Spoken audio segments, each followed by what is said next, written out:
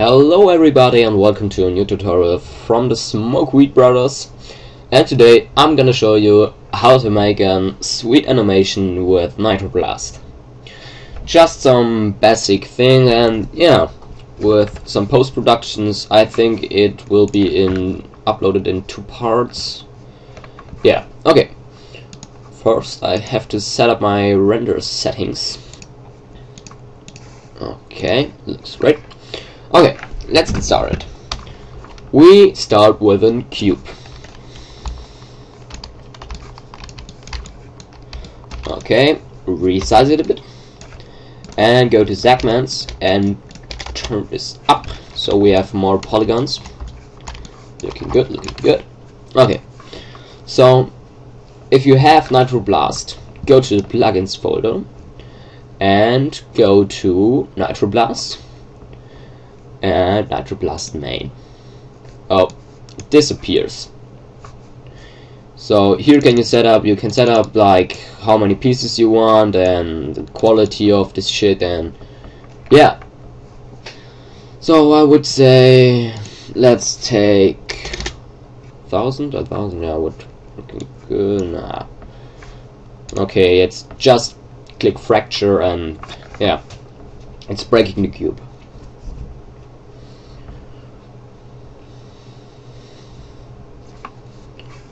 Okay, so here's our object. On here we have the parts. Okay, let's go. Make a floor. Oh wait. Make an make a disk like this resize it? That it fits the cube. Oh okay good. Okay. So right click simulation tags collision collide collide well I don't know what this means in, in, in American or England but in Germany it's called collision I think you know what I mean. Um yeah this the fuck? I don't know what this means. Ah, okay, okay, relax. Okay. So if we play, you can see the cube falls down and crashes on the ground.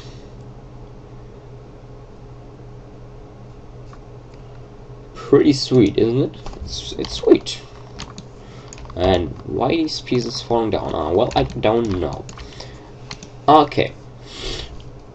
I would say drag this up and increase the size of the disk.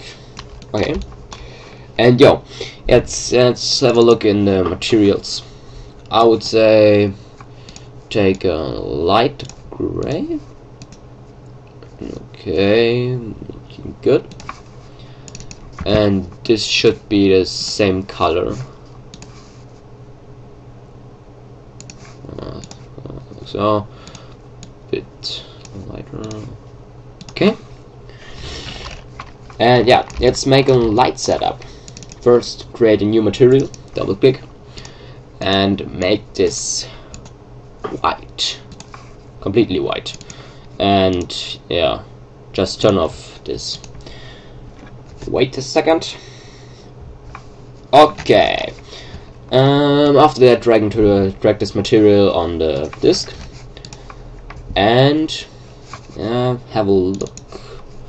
I would say make this a bit darker. Okay, okay, like this. Okay, looking good, looking good. So we make a light setup now, and that's gonna be very interesting. And we use global illumination and ambient occlusion. So let's go in uh, the render tab go to effects and choose global illumination and ambient occlusion okay go to global illumination irradiance cache and here in this I don't know what this means in English but go to minimum minus 4 and max minus 2 okay um, you can see. Okay. So let's make some lights. Create a light and go in this tab here and we make an array. Yeah. Just pull the slide under this array and we have a light circle. Yeah okay. I know this sounds stupid but it's like it is. Okay wait uh, just increase this. Okay. So go to the light and go to shadow shadow maps and make it soft. Uh, go to shadows and make this to about 750 and 750 okay. So this should be very good. Looking good.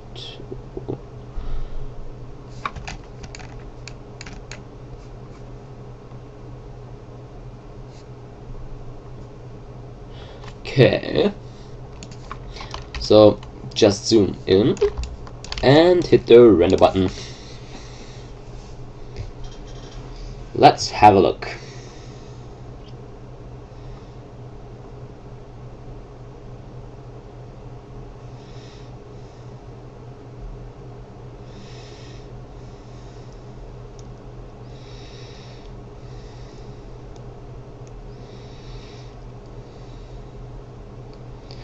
I would say this looks fucking amazing. So um, go to this tab here and make a background and just drag the material from the disk on the background. Okay, I have a look. Just make this up. No, wait.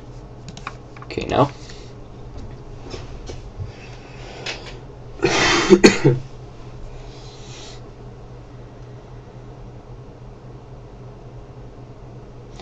You see and it, it's rendered pretty fast.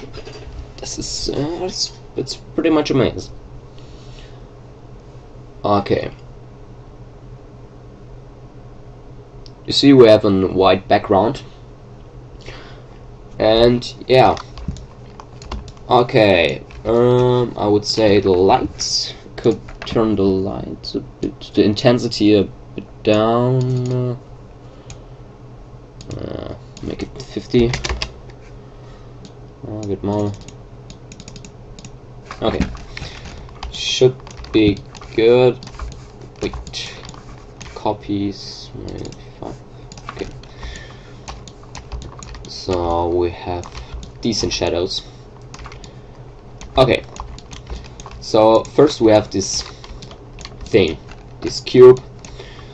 And then it falls to the ground and breaks in 999 pieces. And yeah, we could make a camera animation. And yeah, that's what we're gonna do. Okay, go in this tab here and make a camera.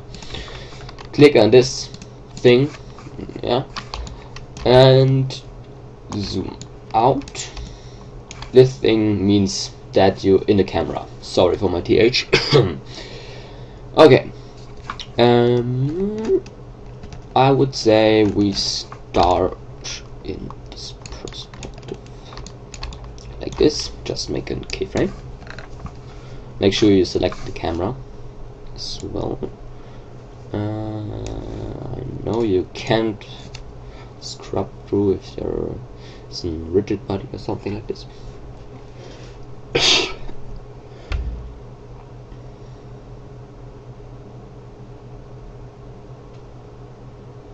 So after the break we should zoom a bit out and make this up here. So with some wait I will turn this up. Okay.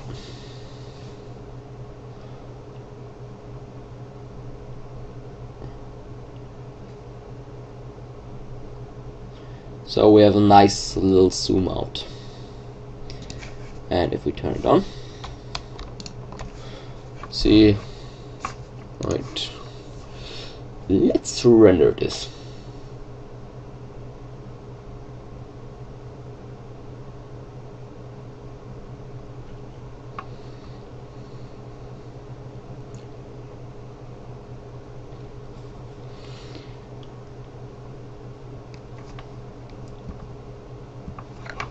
Okay, could make the materials a bit lighter. Like this. Okay. So we have our animation. And this just falls over the ground and uh, yeah. yeah, you know. So let's take 50 frames. Means we have a 3 second animation. And yeah, just render it in which format you want. Okay, here we go. Uh, save this, render this, and we see in, let's say, 15 minutes? Okay, bye.